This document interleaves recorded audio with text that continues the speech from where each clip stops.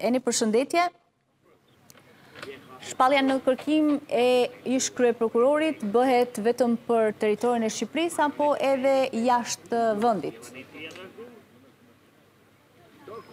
Përshëndetje Esmeralda, atëherë aktualisht ish prokurori i përgjithshëm Adriatik Llalla është në statusin e personit të shpallur në kërkim kombëtar, pasi këto janë procedura që ndiqen fillimisht në bazë të ekzekutimit të vendimit të Gjykatës së Posaçme të Apelit, që ka formën që ka, pra është një vendim i formës së prerë. Por kontrolli për sa i përket gjetjes edhe arrestimit dhe dërgimit më pas në qeli të ish prokurorit të përgjithshëm Adriatik Llalla nuk ka përfunduar vetëm me kontrollin e banesës së tij mbrëmjen e djeshme e cila ndodhet në rrugën e Elbasanit në zonën e njohur ndryshe si Vilat Gjermane. Sipas Informacioneve,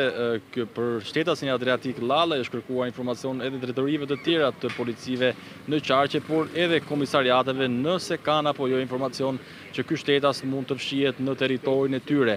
Dua të theksoj faktin që kjo është një procedurë standarde, në fakt që ndiqet nga policia në të tilla raste kur kemi vendime gjyqësore për dërgimin në burg të personave të ndryshëm, ndonëse për shtetasin Adriatik Llalla në cilësinë e ish-kryeprokurorit të vendit, Ka informacione dhe verifikime zyrtare se ai është larguar nga territori shqiptar rreth dy javë më parë në bazë edhe të verifikimeve të sistemit Tims. Por për të kryer të gjitha procedurat, policia po zhvillon edhe kontrollet e tjera, pasi nuk përjashtohet mundësia që ai të jetë futur në territorin shqiptar në mënyrë ilegale. Pasi të mbarojë kjo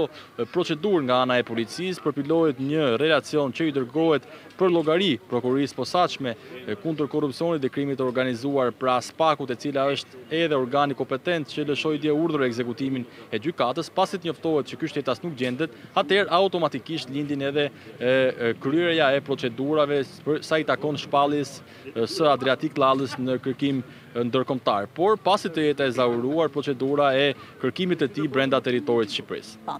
Mirë, Eni, faleminderit për këtë raportim.